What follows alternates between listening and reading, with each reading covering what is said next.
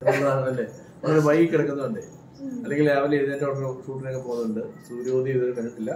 പക്ഷേ സൂര്യോദയം അവിടെ ഉണ്ടെന്ന് നമുക്കറിയാം. അത് സംഭവിക്കും.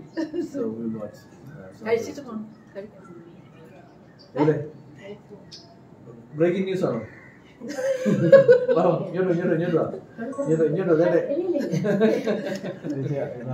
അടുക്കള ഇഷ്ടം ഇത് ഇത് ഇത് ഈ അടുക്കള കണ്ടില്ലേ? ഈ സ്റ്റൂളും ഈ ഒരു അടുക്കള ഇത് ദേവേട്ടന്റെ അടുക്കളയാണ് എന്റെ അല്ല. ഇത് ദേവേട്ടന്റെ സ്പെഷ്യൽ അടുക്കളയാണ് ഇത് ഇതല്ല ദേവേട്ടൻ പറഞ്ഞു ഇവിടെ നിന്ന് ഞാൻ മക്കളും അവിടെ ഇരുന്നാ മതി. ദേവേട്ടൻ ഇവിടെ നിന്ന് കുക്ക് ചെയ്ത് അങ്ങോട്ട് തരാം എന്നൊക്കെയാണ് പറയുന്നത്. അല്ല ഈ ഒരു സെറ്റപ്പ് ഒരു ചെറിയൊരു ചെറിയൊരു നൊസ്റ്റാൾജിയുടെ പാർട്ടാണ് പിന്നെ മൂത്ത മോൾ ഇപ്പം സ്കൂളിലെ കുട്ടികളെല്ലാം ഫ്രണ്ട്സ് ഒക്കെ വീക്കെൻഡ് ആവുമ്പോൾ വരും. അപ്പോ മോടെ കൂട്ടുകാരൊക്കെ വരുമ്പോൾ അവരിങ്ങനെ ചുറ്റും കൂടിയിരിക്കും. ഞാൻ അവർക്ക് ഓംലെറ്റോ പാൻ കേക്ക് ഒക്കെ ഉണ്ടാക്കി കൊടുക്കും. അതൊരു അപ്പൊ അതുപോലെ ഒരു ഡാഡി കുക്കിംഗ് സെന്റർ ആയിട്ട് മാറ്റിയിരിക്കുകയാണ് ഞാനിവിടെ. സ്പെഷ്യൽ ഡിഷ് എന്താണ്? പാൻ കേക്ക് ബേക്കൺ അങ്ങനെയൊക്കെയുള്ള അല്ല വലിയ കുക്കിംഗ് അല്ല.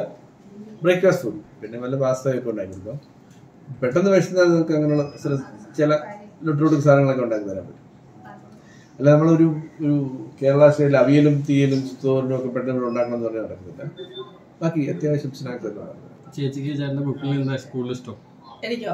ചേട്ടൻ കുക്ക് ചെയ്യുന്നതാണോ കൂടുതൽ ഇഷ്ടം അല്ല അതിലെന്ത് എന്താ ഇഷ്ടമെന്നോ ചേച്ചി ട്രൈ ചെയ്തിട്ടുണ്ട്. ഞാൻ കുക്ക് ചെയ്യാൻ കൂടുതൽ കുക്ക് ചെയ്യാൻ. ഞാനത് ഞാനത് വളരെ സൗകര്യപൂർവം എനിക്ക് അങ്ങ് അറിയിക്കാം നല്ല ഓംലെറ്റ് ഉണ്ടാക്കും. ഇത് സാൻഡ്വിച്ച് ഒക്കെ നന്നായിട്ട് ഉണ്ടാക്കും. പാസ്ത പിന്നെ എനിക്ക് ഈ പാസ്ത നൂഡിൽസിനോട് വലിയ താല്പര്യമുള്ള ആളല്ല. ഞാൻ നമ്മുടെ കേരള ഫുഡിന് താല്പര്യപ്പെടുന്ന ഒരാളാണ്. അത്യാവശ്യം ചോറും മീൻകറിയും കപ്പയും അത്യാവശ്യം പഴങ്കഞ്ഞിയൊക്കെ കുടിക്കാൻ ഇഷ്ടപ്പെടുന്ന ഒരാളാണ്. പിന്നെ പക്ഷേ ദേവേട്ടനും മക്കളും ഈ പറഞ്ഞ കണക്ക് നൂഡിൽസും പാസ്തയുടെ ആൾക്കാരാണ്. ഞാൻ ഇല്ലാത്ത ദിവസം ഇവർ ഇതൊക്കെയാണ് പരിപാടി. പിന്നെ ഞാൻ ഒരു ഡയറ്റിലും കൂടെ ആണ് അതുകൊണ്ട് പിന്നെ ഡയറ്റ് എപ്പോ?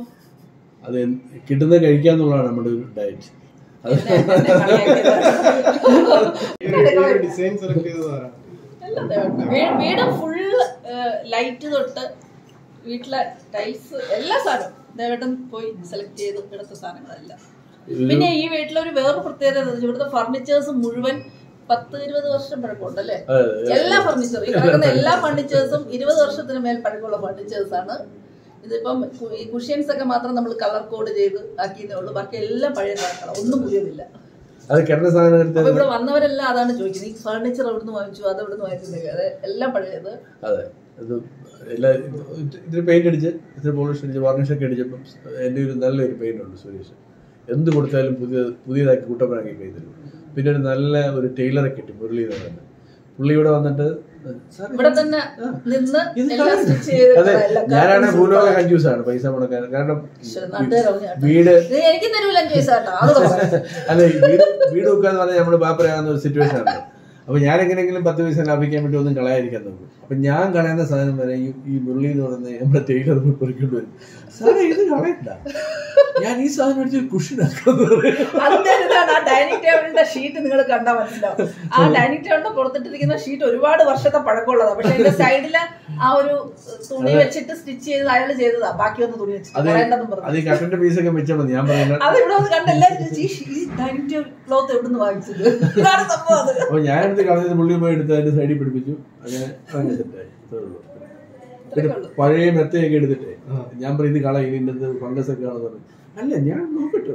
എന്നിട്ട് പുള്ളി ഇതിന് സ്പഞ്ചൊക്കെ എന്റെ മോളി ഫിറ്റ് ചെയ്തു. അതിനെ പുതുതാക്കി കുഷനാക്കി തന്നിട്ടുണ്ട്. അതുകൊണ്ടാണ് ഇതിപ്പോ പല നടത്താൻ പറ്റിയത്. കഞ്ചൂസാന്നുള്ള എല്ലാവർക്കും മനസ്സിലായല്ലോ. ഏകദേശം ഇപ്പൊ. കഞ്ചൂസ് എന്ന് പറയുന്ന ഒരു കാര്യമുണ്ട് നമ്മൾ ഈ പ്രകൃതിയിൽ ഉണ്ടാക്കിയിരിക്കുന്ന സാധനങ്ങൾ വീണ്ടും വീണ്ടും വാങ്ങിക്കുകയും അത് വലിച്ചെറിയുകയും ചെയ്താൽ ഈ പ്രകൃതിയിലേക്ക് തന്നെയല്ലേ പോകുന്നത്? അപ്പൊ നമ്മൾ ഉണ്ടാക്കിയ സാധനങ്ങൾ വീണ്ടും വീണ്ടും ഉപയോഗിക്കാം. ഇപ്പൊ ആ കിടക്കുന്ന ടേബിൾ തന്നെ എന്റെ ചേച്ചിയുടെ അമ്മായപ്പൻ ഉണ്ടാക്കിയ ടേബിളാണ് അതിലേക്ക് കൂടുതലായിട്ടുണ്ട്. അപ്പൊ അവിടെ ഫ്ലാറ്റിൽ അത് ഫ്ലാറ്റിൽ കൊണ്ടുവരുന്ന അവിടെ ഗ്ലാമർ ഇല്ലാത്തതുകൊണ്ട് അവരുടെ അടുത്ത് കളഞ്ഞാണ് അപ്പൊ ഞാൻ പറഞ്ഞു എന്നാ പിന്നെ ഞാൻ എടുത്തോളാം എന്ന് പറഞ്ഞിട്ടാണ് ആ ടേബിൾ പക്ഷെ അത് പഴയ ഒരു ഡൈനിങ് ടേബിളാണ് അത് ഈട്ടി കൊണ്ട് ഉണ്ടാക്കിയതാണ്. അതൊരു ഒരു പ്രശ്നവും ഇല്ലാതെ അതേപോലെ കിടക്കും. വർഷങ്ങളോളം കിടക്കും. തടിയാകുമ്പോൾ മഴ നനഞ്ഞില്ലെങ്കിൽ അതുപോലെ കിടന്നോളൂ. പിന്നെ നമ്മളിപ്പം വലിയ ഗ്ലാമറൊന്നും നോക്കട്ടല്ലോ കുട്ടികൾക്ക് വേണേൽ അവർ മാറി കാണിച്ചു അല്ലേ? അതുകൊണ്ട് അതുകൊണ്ടാണ് വേസ്റ്റ് ആക്കാൻ പാടില്ല എന്നുള്ള ഒരു ഫിലോസഫി അത്രേ ഉള്ളൂ. വേസ്റ്റ് മാനേജ്മെന്റ് ഓ ചേച്ചി വെച്ചിട്ടുണ്ട് ഇതാ ഇങ്ങോട്ട് സി ആ നിൽക്കാണ്ടി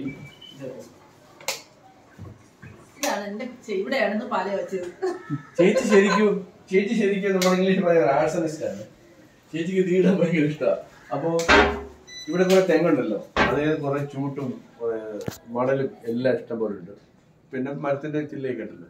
അതെല്ലാം അതിനകത്ത് പെറുക്കി വെച്ചിട്ട് ഇത് വെച്ച് കറി വെക്കണം അല്ല അതിൽ അരയ്ക്കണം എന്നൊക്കെയാണ് എന്നൊക്കെയാണ് എന്നോട് പറയുന്നത്. ഇപ്പൊ എല്ലാം വെച്ചു കൊടുത്ത സ്ഥിതിക്ക് എനിക്ക് കണ്ടറിയാം. ഇതൊക്കെ ചെയ്തില്ലെങ്കിലാണ് പ്രശ്നം. അതെ. ഏട്ടാ ഗ്യാസ് തീർന്നു എന്ന് പറയുമ്പോൾ പറയുമ്പോ ഞാൻ പറയാം. അപ്പൊ അതാണ് എനിക്ക് ഭയങ്കര ഇഷ്ടമായി അടുപ്പ് കത്തിച്ച്.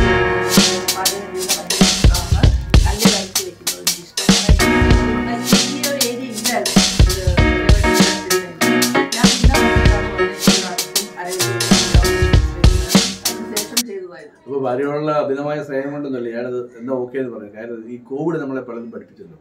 ഗ്യാസ് കിട്ടാത്ത ഒരു സിറ്റുവേഷൻ വന്നു കഴിഞ്ഞാൽ നമ്മൾ അതാണ് എന്റെ സത്യങ്ങൾ പുറത്തു വരുന്നു. ചേട്ടൻ കഞ്ചൂസാന്ന് പറഞ്ഞല്ലോ അതുകൊണ്ടായിരിക്കും. നമ്മളെ എത്ര പൈസ ഉണ്ടെന്ന് പറയാം. കോവിഡ് പോലുള്ള സാധനമാണ്. എന്റെ പുറത്തേക്ക് പോകാൻ പറ്റാത്ത അവസ്ഥ വന്നു അല്ല കഴിഞ്ഞാൽ കോവിഡ് ഒരുപാട് നമ്മളെ പഠിപ്പിച്ചല്ലോ.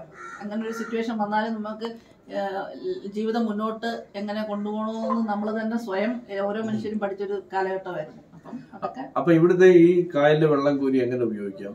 ഇവിടുത്തെ ഈ കാറ്റ് എങ്ങനെ ഉപയോഗിക്കാം? ഇവിടുത്തെ ഈ സൺലൈറ്റ് എങ്ങനെ ഉപയോഗിക്കാം? അതിനെക്കുറിച്ച് ഇപ്പൊ കൊച്ചിയിൽ ഇപ്പം ആളുകൾക്ക് ശ്വസിക്കാൻ വയ്യ.